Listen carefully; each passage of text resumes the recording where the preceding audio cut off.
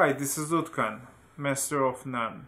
Today I'm gonna show you guys how to build this video light.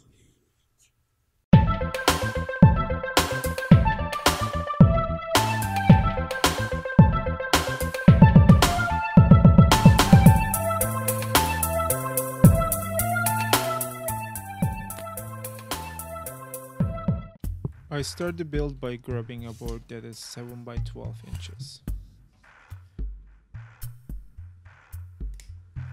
Here I'm cutting the LED strips into size, making sure I'm cutting at the connection points. Material I'm using for this build is called PVC foam board. This material can be purchased from plastic distributors. I got mine from Peterson Brothers Plastics in Chicago. I removed the protector from the adhesive backing and started to stick them to the foam board. I staggered the strips so LED on the row I'm placing aligns with the empty space above it. I drilled series of holes thinking I will run one cable for each row. Then I realized it makes more sense to bridge the connection here at the front than solder 11 cables at the back.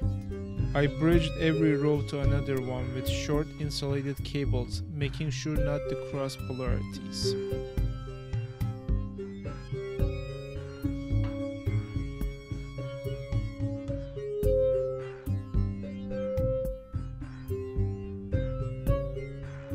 Using a helping hand really helps with any soldering work. It's a good idea to check after every connection, so it is easier to troubleshoot any problem like shorts or crossed polarities. Soldering work should be done at 400% speed to finish this tedious work as soon as possible.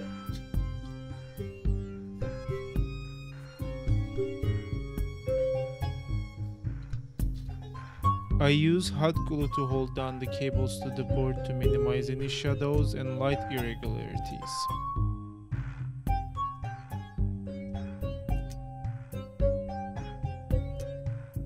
Here is the first test after all the connections are made. I cut the four side pieces to one and a three quarters at the table saw. Then I positioned them next to the base to mark the cuts I need to make.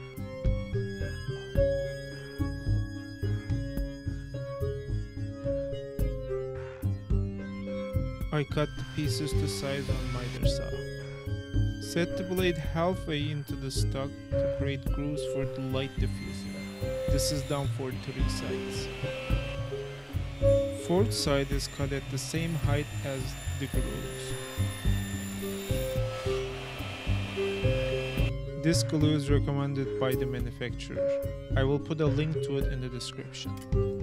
Working time for this glue is 5 to 6 minutes and 80% strength comes in 24 hours. I used acrylic I had for the light diffuser. I'm marking it with a knife then snapping it to make sure the mark is straight and go over the same mark a couple of times. Using a sharp knife does help a lot.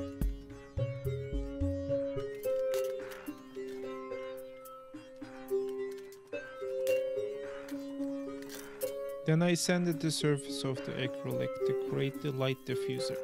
We want the light to spread instead of showing up as many LEDs. After 10 minutes, I glued the second side. Don't put any stress on the glued sides since they are not fully cured yet.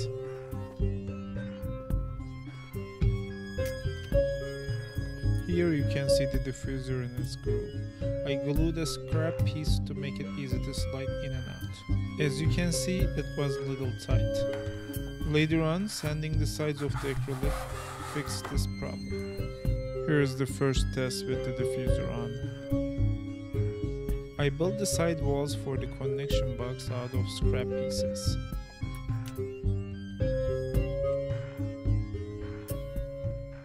One more layer added to this side so it is stronger for the power input connector.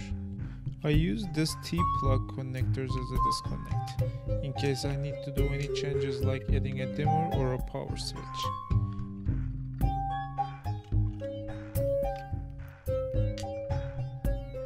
Using white spray paint, I lightly cover over the diffuser.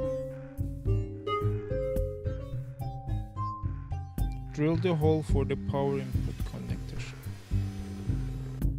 and glued it to its place using goop all-purpose glue. You can cut PVC foam board with a knife too. Here I'm cutting the cover for the connection box. I marked the size of the screw on a drill bit with a marker and drill two holes through the cover. Then install the screws. I marked the insides of the two bands I'm going to make on the aluminum support. Then I bent the aluminum by hand.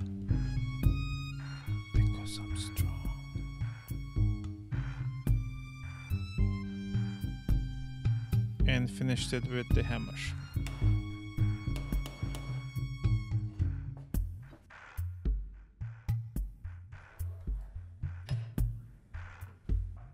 I drilled and countersinked the holes. These two holes at the ends are for the knobs that's going to attach to the light box.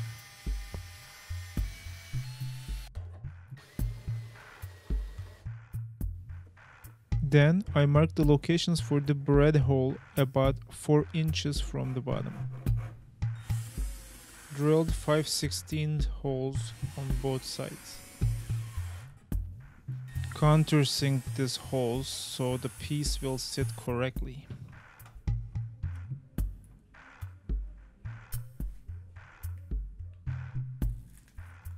Use 2-part epoxy to glue the metal to the PVC foam.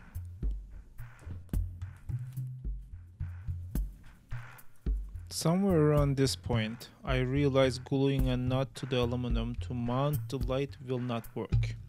So I started to think about plan B. My solution is cutting two more aluminum pieces about 3 inches and screwing those to the main support and tapping the quarter inch thread to this 3 piece aluminum.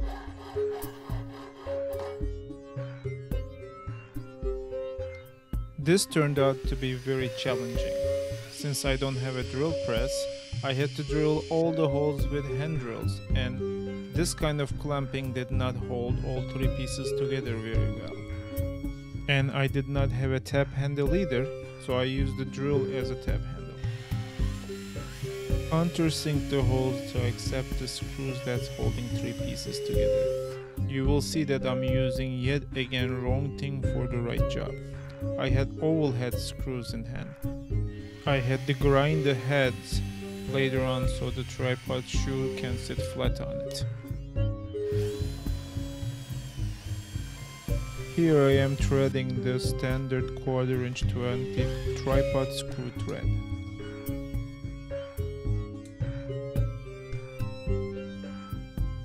I got this paint on sale for $2. Color is named Matthias Vandal.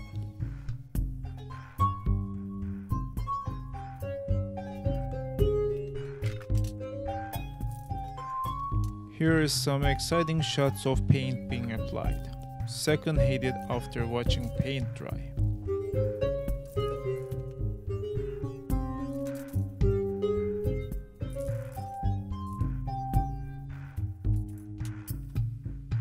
You still here? Oh, okay. Let's put this thing together.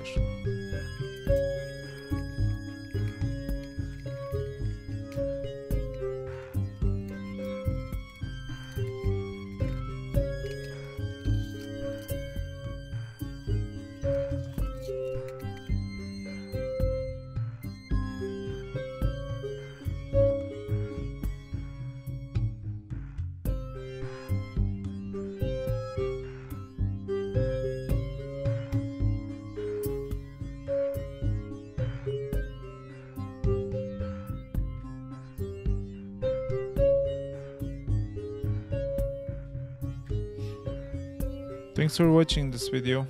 This is my first video that I did a voiceover. I usually hate hearing myself, and I still do. Please hit the thumbs up button if you like this video. And thank you for watching.